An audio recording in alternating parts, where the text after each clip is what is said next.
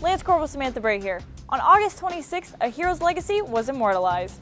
Corporal Ramona Madeline Valdez was killed in action in Iraq in 2005. In her honor, New York renamed the square of her recruiting station located in the Bronx after her.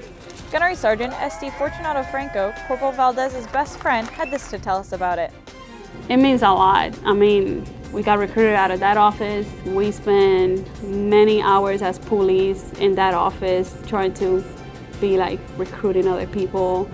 We went on recruiters assistance, we worked in that office, so there is history behind that island. It's not just like a random square in New York City, like that's where it all started.